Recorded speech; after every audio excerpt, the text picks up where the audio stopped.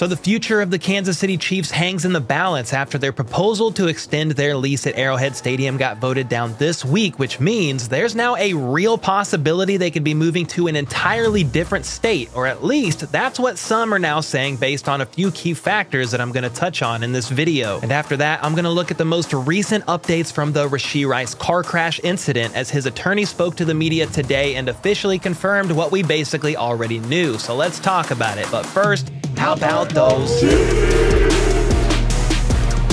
First up, let's talk about why the new sales tax extension that was voted for on Tuesday, April 2nd, did not pass, how this puts the future of both the Chiefs and the Royals remaining in Kansas City into a bit of an unknown, and also why the vote wasn't even close. Jackson County residents spoke clearly and voted to reject the extension of the 3 8 cent sales tax to keep both teams around for at least the next couple of decades. That means the current leases for both the Royals and Chiefs are still set to expire in 2031, and at least as of right now, there's the possibility that both of these teams could be fixing to move when their leases expire. It's a complex situation as to why the no vote spoke so much louder than the yes votes. 78,352 voted no. That's 58% compared to 56,606 voted yes, only 42%. Many were unhappy with the Royals being unclear of exactly what the plan was for their downtown stadium, changing things more than once and even super recently,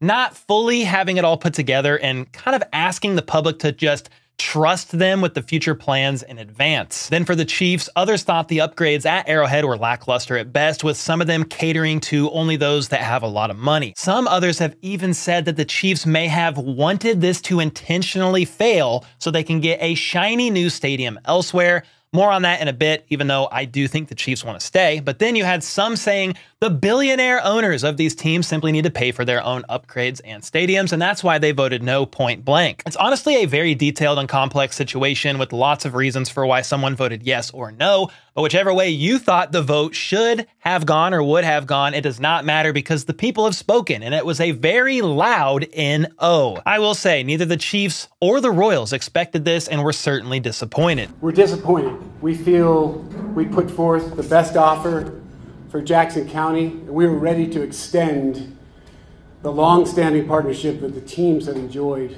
with this county. Chiefs team president Mark Donovan went on to say, quote, we will look to do what's in the best interest of our fans and our organization as we move forward. Royals chairman and CEO John Sherman said they are deeply disappointed as we are, quote, steadfast in our belief that Jackson County is far better off with the Chiefs and the Royals, saying they will take some time to reflect on and process the outcome and find a path forward that works for the Royals and the fans. The teams definitely make this at least feel like the future of remaining in Kansas City, Missouri now potentially hangs in the balance, but KC's mayor, Quinton Lucas, seems a bit more optimistic that something can still get worked out between the teams and the county to keep them around for generations to come. He said in the coming months he's looking forward to working with the Chiefs and the Royals to build a stronger, more open, and collaborative process, which begs the question were the teams actually bluffing about there being no plan B if this vote fails? Would they actually then consider moving the teams elsewhere after the leases expire in 2031 without trying again via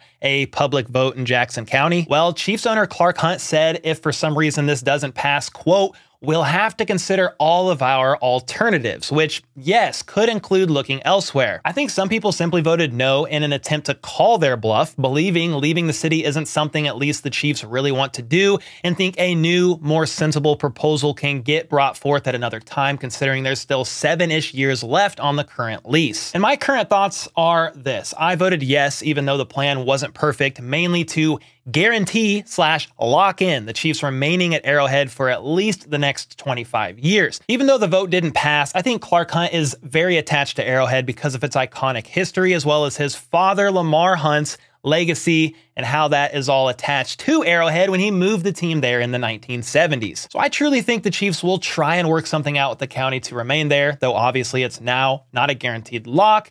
And another place could be very appealing. I'll get to that in a second. Um, but even if the Chiefs try to work with the county, there's still a chance voters shoot down another proposal. And if that happens, other options will definitely then be explored after their lease expires in 2031. For the Royals, they seem to have a higher chance of playing elsewhere. They've wanted a downtown stadium, and even though the current chairman and CEO has roots in Kansas City and ideally would most likely want to stay in the area, they seem the less likely of the two to remain in the city if push comes to shove. Most of you don't follow me for the Royals news though, so pretty much done talking about them. But from here, I want to talk about while I think the Chiefs will do their best to attempt to remain at Arrowhead for years to come, there's certainly others that would love for them to move and would be willing to entice them as much as humanly possible with the temptation of a brand new state of the art stadium and possibly even help them fund it. The most realistic place in that scenario would be the Kansas side of Kansas City. I don't think they truly want to leave the Kansas City metropolitan area. And this would probably be near the Legends, where there's already tons of places to eat, the Kansas Speedway, Sporting KC, and more. The governor of Kansas, Laura Kelly, has already expressed the desire to have the Chiefs over there if she can figure out how to make it work. I would be all for it, uh, obviously. I mean, when I eh, signed the border war truce uh, with Missouri, it didn't include the Chiefs. And even today, Nate Taylor of The Athletic said that Chiefs fans need to come around to the legitimate possibility that the Chiefs could be playing in Kansas around 2030 or 2032. When asked if he thinks the Chiefs will reconvene and try again with Jackson County first. Nate had a clear and sad, in my opinion, one word answer. Do you think the Chiefs are going to try again in Jackson County first? No. You think they're going straight to Kansas? So Nate just straight up said no, they're not going to try again with Jackson County. I'm a bit more hopeful that they will try to work something out, but you can take Nate's word over mine any day. Nate then talked about Clark Hunt making it clear he didn't want to move before the vote happened, but uh if this doesn't go well, which I put out on Twitter, we will have to discuss other alternatives. Really, there's only one alternative, and we all yeah. know what it is, and we should all be prepared for the idea that the Chiefs may be playing in a new stadium in Kansas in less than a decade. On top of that, the KC Star reported yesterday that former Kansas House Speaker Ron Ryckman Jr. is quietly working with unnamed parties interested in bringing the Chiefs across the border. He even gave a quote about Jackson County fumbling and Kansas now being ready for the scoop and score, you know, some real cheesy Chiefsaholic lawyer type stuff, but hey, Kansas does have something Missouri doesn't at the moment, and that is legalized sports betting, which is a huge revenue draw for the league and could mean if the Chiefs move to that side, they could have in venue sports books at the new stadium, among other benefits from having sports betting legal. Then, of course, there's also the obvious a brand new, shiny, polished stadium that could also potentially include a retractable roof which would make them eligible to host a Super Bowl and generate a ton of money. That's something Arrowhead will most likely never be able to do because no roof. You have to have a roof to even qualify. And here's another thing. If they got a new stadium elsewhere, brand new one, Clark Hunt would then not be getting reamed by the public after an F minus grade from the NFLPA player report card about having out of date training facilities and an unwillingness to spend more money to upgrade it. There's other reasons why the Kansas side could be a truly palatable option, but instead of going on and on about it, just going to stop there because we have to wait and see how it all plays out. There's a lot of time here. Again, the lease is not up until 2031. I think they'll try to get things in motion before that, but there's still plenty of time. It's not like they're going anywhere next season, the season after, or the season after that. But that's where I want to pass the question off to you guys. Where do you sit on this subject? Do you hope Jackson County is able to get something figured out so the Chiefs can stay at the iconic Arrowhead Stadium long term? Or are you in line with Nate Taylor that the Chiefs are probably done in Jackson County and will look to head over to the Kansas side and get themselves a new state of the art stadium? Let me know either way in the comments down below. Next up, we have a bit of a Rashee Rice update. Over the weekend, his Corvette and a Lambo that is in his name. He was renting it. We're seen speeding on a Dallas, Texas speedway, and both vehicles lost control, causing six cars total, including the Vet and Lambo, to collide and get damaged. Thankfully, there were no major injuries, but everyone in those two vehicles immediately jumped out and fled the scene. And thanks to dash cam footage, as well as TMZ somehow always getting a hold of everything, we saw one of those guys looked very much like Chiefs wide receiver Rashee Rice. This was basically confirmed when it was found out that the Corvette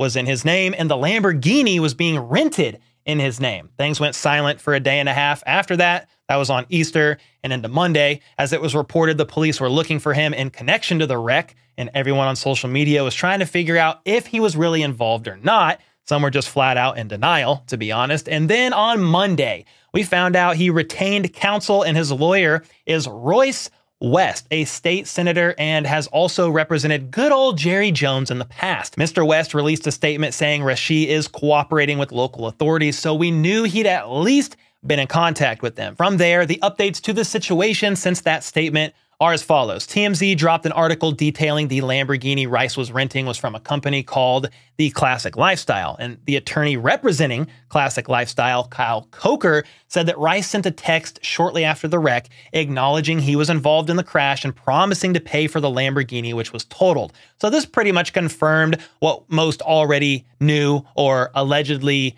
thought happened. Uh, Rice was involved and was driving the Lambo with a friend of his driving his Corvette. Rice then released a statement of his own yesterday on social media that said, quote, Today I met with Dallas PD investigators regarding Saturday's incident. I take full responsibility for my part in this matter and will continue to cooperate with the necessary authorities. I sincerely apologize to everyone impacted in Saturday's accident. And from there, after the release of the statement, Rice proceeded to get cooked, no pun intended, by the masses in the comments, mainly because he fled the scene. So they're saying responsibility, Rice, would have been to check on the victims of the crash rather than running away. And since they all did flee the scene, we may never know why Rice and company ran away. There's the potential that they allegedly could have had something in their possession that they didn't want the police to find, or that the drivers may not have been able to pass a toxicology report that will basically be impossible to prove one way or another since they did flee the scene. There's also the possibility they ran just because they were afraid of the repercussions in general, speeding on the highway and wrecking their cars.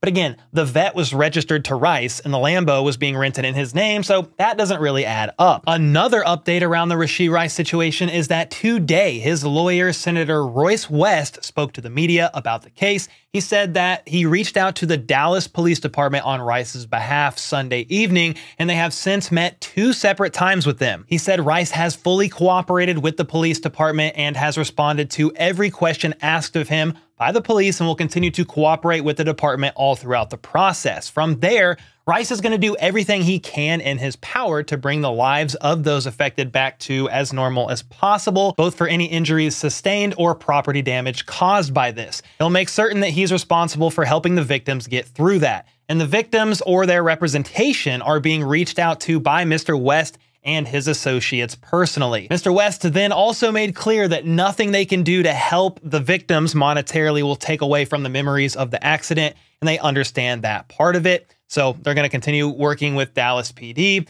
and that is pretty much that. Although Senator West did answer from the jump once and for all that Rice was indeed driving that Lamborghini. Uh, during the interview, Mr. Rice acknowledged that he was driving the Lamborghini. That was the question that was asked and he responded to that. That he was driving the Lamborghini. He then mentioned Rice will speak out about this maybe in a week or so to the media. I'm not sure, but he's going to speak out in some fashion. And then the last point I found worth mentioning is that he kept telling the media to let the investigation continue playing out and not to judge Rice by this one action, though Rice has acknowledged he was in the wrong, but instead by his entire body of work. So time will tell, and from here, it's just a matter of waiting to let the legal process play out. The Chiefs will do the same, and as long as Rice is honest with them, I don't see him being released like Kareem Hunt was years back or anything crazy like that. Then the NFL will do an investigation of their own, and we will see what suspension length, if any, comes from it. I would think he gets some sort of minor suspension, two to four games at some point this season. And it could even come as a random surprise, kind of like uh, Justyn Ross, Charles Omenihu. Uh, pick a name. Sometimes it's a complete surprise. We don't know when they're going to be suspended. But with all that being said, let me know your thoughts on the Rice situation as it continues to develop. And until next time, let's go. Let's freaking go. How about those?